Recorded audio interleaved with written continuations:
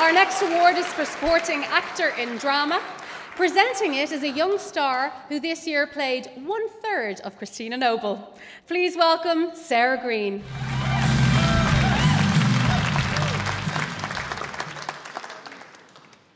One Dublin gangster, one reformed pirate, one retiring spy, and one notorious arch villain.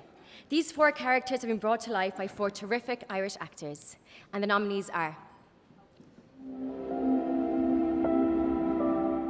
John Connors, Love Hate. I don't want my soul and yours tied together in this one act. I'll do one thing if you let me go. You're a worthless beggar, do you know that? And a liar. No. You put a bullet in my son's head. What else am I gonna do? Liam Cunningham, Game of Thrones. They're with our Lord now. Their sins all burnt away. Did you see? I'm sure, they're more than grateful, my queen.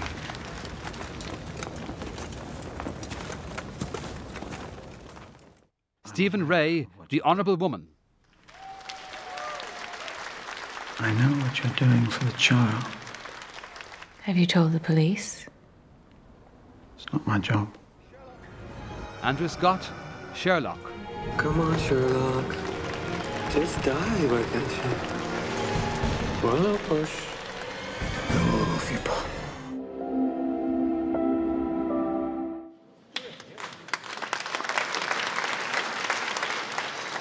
And the IFTA goes to Stephen Rea, an honourable woman.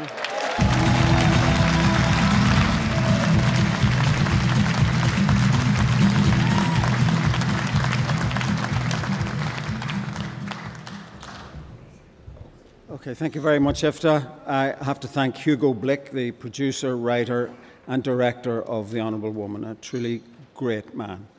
Um, and uh, although this is something that I worked on in England, I'd like to take this opportunity to thank all the people I've worked with in Ireland down the years, not just Neil and all that, but uh, the great crews that we have here who are as professional and skilled as any in the world.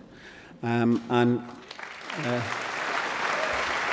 and, and I'd um, just like to take this opportunity to thank um, my sons, Danny and Oscar, for their constant friendship and support. Thank you.